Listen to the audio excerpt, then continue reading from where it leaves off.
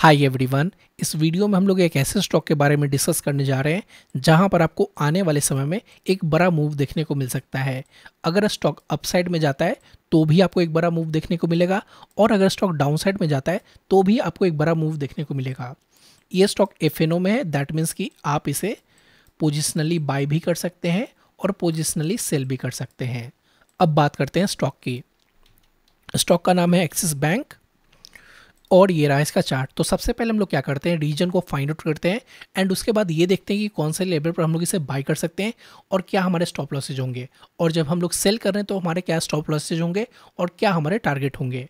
तो आप यहाँ पर देख सकते हैं जो मैं टाइम फ्रेम यूज़ कर रहा हूँ, वो है डेली का।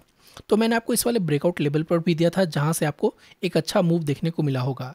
बट कोई बात नहीं, अगर आपने लास्ट टाइम अगर मिस कर दिया है तो हो सकता है कि आपको इस बार एक अच्छा मौका मिल जाए पैसे कमाने का। तो यहाँ पर मैं क्या करता हूँ, एक सिंपली एक हॉरिजॉन्टल लाइन को ड्रॉ करने जा रहा हूँ। तो आप यहाँ पर देख सकते हैं, ये जो 990 का जो लेवल था, ये काइंड ऑफ़ एक रेजिस्टेंस की तरह एक्ट कर रहा था। जैसा कि आप यहाँ पर देख सकते हैं प्राइस इस लेवल को टच करता है एंड यहाँ से हमें एक डाउनफॉल देखने को मिलता है। अगेन प्राइस इस लेवल को टच करता है अगेन हमें एक डाउनफॉल देखने को मिलता है। प्राइस अगेन इस लेवल को टच करता है एंड फिर से हमें डाउनफॉल एंड यहाँ पर भी आपको थर्सडे को सेम देखने को मिला है। तो आप देख सकते हैं जो 990 का जो लेवल है, वो काफ़ी एक स्ट्रॉन्ग रेजिस्टेंस की तरह एक्ट कर रहा है। अगर आपको कैंडल स्टिक पैटर्न आता है तो अगर आप इन तीनों को कंबाइन करेंगे तो ये एक kind of evening star pattern है। और इसका मतलब ये होता है कि प्राइस में हमें एक आने वाले समय में फॉल देखने को मिल सकता है। अगेन देखने को मिल सकता है गारंटी नहीं है। इसलिए मैं आपको हमेशा कहता हूँ कि जो ट्रेडिंग है, वो पूरी तरह से प्रोबेबिलिटी पर बेस है, ना कि गारंटी के बेस पे है। अब हम लोग बात करते हैं कि यहाँ पर हम लोग क्या कर सकते हैं। तो देखिए, यहाँ पर दो तरह के ट्रेडर हैं। एक है एग्रेसिव और दूसरा है कंजर्वेटिव। अब आप यहाँ पर देख सकते हैं कि इसने एक इवनिंग स्टार पैटर्न बना दिया है। तो वो लोग क्या करेंगे, जो एग्रेसिव है, वो इसके लो के नीचे सेल ऑर्डर प्लेस करेंगे और इसके हाई के ऊपर एस प्रेस करेंगे। तो ये होगा सेल ऑर्डर।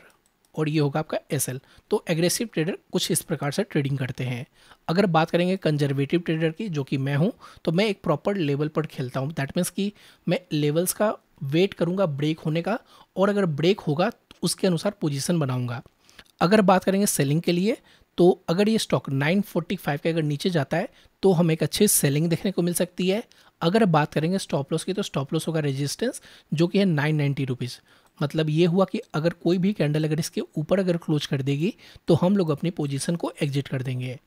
अगर बात करते हैं टारगेट की तो हमारा फ़र्स्ट टारगेट होगा नाइन थर्टी का।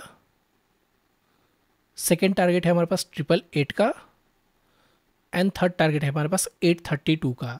अब बात आती है कि अगर ये स्टॉक अपसाइड में जाता है तो हम लोग कौन से लेवल पर बाई कर सकते हैं? तो सबसे पहले आप यहाँ पर देख सकते हैं कि 990 का जो लेवल है, वो काइंड ऑफ़ एक रेजिस्टेंस की तरह एक्ट कर रहा है। दूसरा आप ये देख सकते हैं कि जो थाउज़ेंड रुपीज़ का जो नंबर है, जो कि एक राउंड नंबर है, वो भी एक रेजिस्टेंस की तरह एक्ट करेगा। तो कई लोगों को नहीं पता होता है कि जो राउंड नंबर होते हैं, वो रेजिस्टेंस की तरह एक्ट करता है। तो उसके लिए हम लोग क्या करेंगे? पहले ऑप्शन चेन को स्टडी कर लेते हैं। तो ये रहा आई चैट का प्लेटफॉर्म तो ये पेड वेबसाइट है मतलब यहाँ पर आपको कोई भी कंटेंट फ्री में नहीं मिलता है मतलब आपको पे करना पड़ेगा और इसका प्राइस ज़्यादा नहीं है, काफ़ी कम है। अब बात करते हैं इसके ऑप्शन चेन की। और यहाँ पर एक्सिस बैंक तो अभी क्या है कि हम लोग लास्ट वीक ऑफ़ एक्सपायरी में मतलब हम लोग लास्ट वीक है मंथली एक्सपायरी में। तो यहाँ पर क्या होता है कि यहाँ पर जो ओआई है, वो कम देखने को मिलेगा as compare to the next month तो हम लोग क्या करेंगे, इसको नेक्स्ट मंथ में शिफ्ट कर देंगे। तो आप यहाँ पर देख सकते हैं कि कॉल साइड में सबसे ज़्यादा जो ओआई है, वो है थाउज़ेंड पे। जैसा कि मैंने आपको बताया था कि जो थाउज़ेंड जो नंबर है, वो एक राउंड नंबर है तो वो एक रेजिस्टेंस की तरह एक्ट करता है।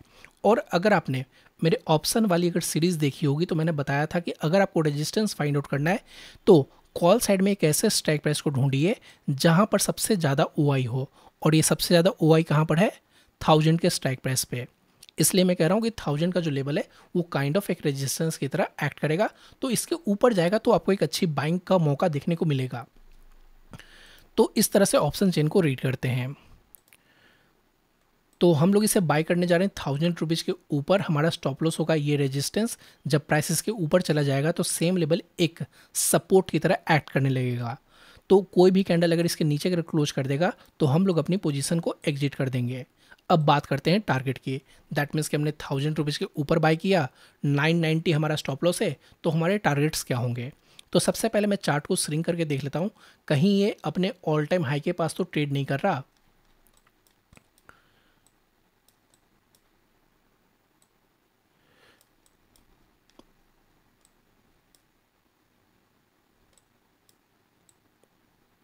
तो ये अपने ऑल टाइम हाई के पास ट्रेड कर रहा है। दैट मीन्स कि अपसाइड में हमारे पास कोई भी रेजिस्टेंस नहीं होगा आफ्टर थाउज़ेंड तो ये कितना भी ऊपर जा सकता है।